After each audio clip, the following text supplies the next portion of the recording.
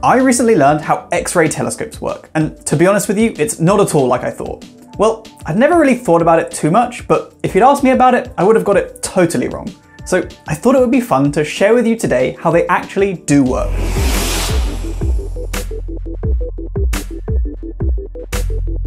Most traditional reflector telescopes work by having a big concave primary mirror that focuses the light it collects onto a smaller convex secondary mirror. And this secondary mirror further focuses the light into the interior of the telescope. The bigger the primary mirror, the higher the resolution of the image that that telescope produces. The interior of the telescope will then contain all of the actual detectors that measure the intensity of the light or count individual photons but it might also have some more mirrors too that do some more focusing and redirection inside the telescope. This is how telescopes work if they're detecting radio, infrared, visible, or even ultraviolet light. But for X-ray telescopes, it doesn't work. This is because X-rays have such high energies that they usually pass through most objects, including mirrors. The other types of light I just mentioned, radio through UV, have lower energies than X-rays. You can think of X-rays as having such a short wavelength that they pass right through the materials that make up the mirrors. Instead, X-ray telescopes do something a little more subtle in order to focus the high energy light they're looking for onto their detectors. First of all, X-ray telescopes have to be in space because the atmosphere absorbs X-rays. If your telescope was on Earth, it wouldn't see anything at all the atmosphere above it is totally opaque to X-ray light. As a result, all of the best X-ray telescopes are space telescopes. And the one we'll look at here as an example is called the Chandra telescope, named for the famous astrophysicist Chandrasekhar. And I think it's fair to say that currently, this is the best X-ray telescope around. It orbits the Earth in an elliptical orbit, avoiding the patches around the Earth that have the most radiation that would cause noise and interference and other issues with its instruments. Other space X-ray telescopes include the Apollo telescope mount on the Skylab space station, ESA's EXOSAT, and ROSAT, a collaboration between the UK, US, and Germany.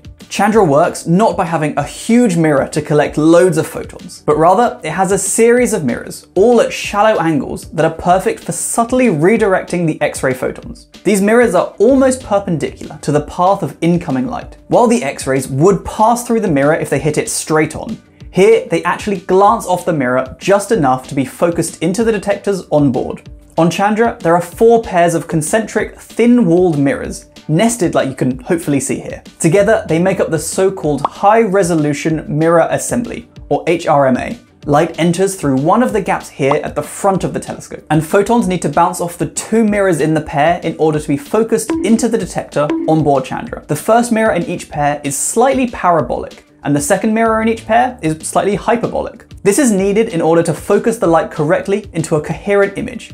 Just like traditional mirrors have one concave and one convex mirror. Each of the eight mirrors on board Chandra are made from fancy glass, which is highly polished and then coated in chromium and iridium. The positioning of these mirrors, kind of like an onion, does leave a large hole in the center of the telescope, where the traditional mirror would have been, and hence many X-rays are missed in these designs. This effect is limited by the concentric nesting of the mirrors, but on Chandra we only have four sets of mirrors, so it's still not perfect. The more sets of mirrors you can nest, the better your X-ray telescope will be. For example, the XMM Newton X-ray Observatory has 58 mirrors, so it will miss many fewer X-rays than Chandra, and it looks even more like an onion. Each pair of mirrors on Chandra is optimized to reflect a slightly different wavelength of X-ray light and the total area of all the mirrors in the HRMA is around 1100 square centimeters. The struts that hold some of these mirrors in place obscure about 10% of that collecting area though. Once the X-rays have bounced off two mirrors, they travel down an almost 8 meter tunnel to reach the instruments and detectors.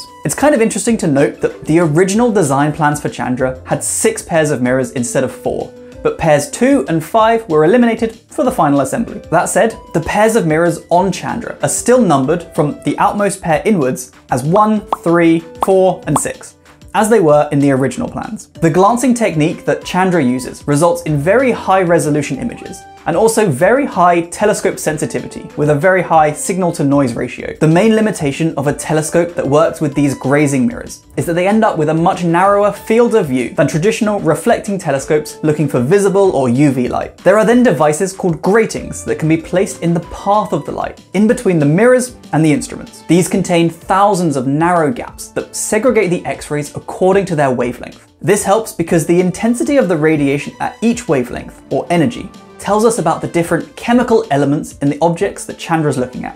and it also tells us about the temperature, density, and motion of the object as well. The primary instrument on board Chandra then records the position of every X-ray that hits it, and it records the energy of that photon too. And we can then use this to build the images that Chandra produces.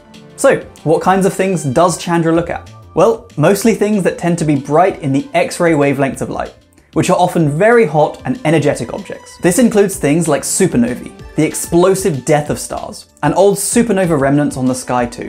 Chandra targets also include black holes, particularly supermassive black holes at the centers of galaxies that are consuming a lot of matter. This infalling matter tends to heat up and emit a lot of radiation, including lots of X-rays. And these active black holes are known as quasars. Other targets include star-forming regions of space, merging galaxy clusters, planets in our own solar system, nebulae and pulsars.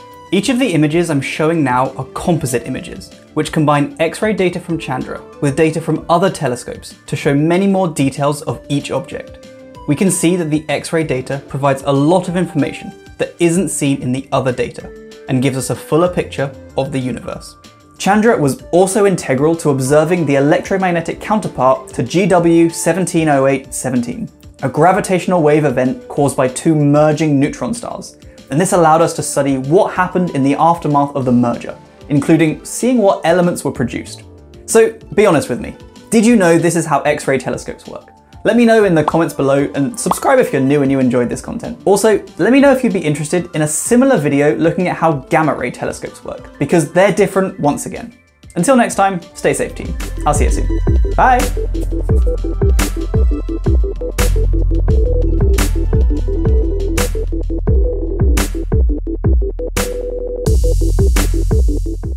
I recently learned how X-ray telescopes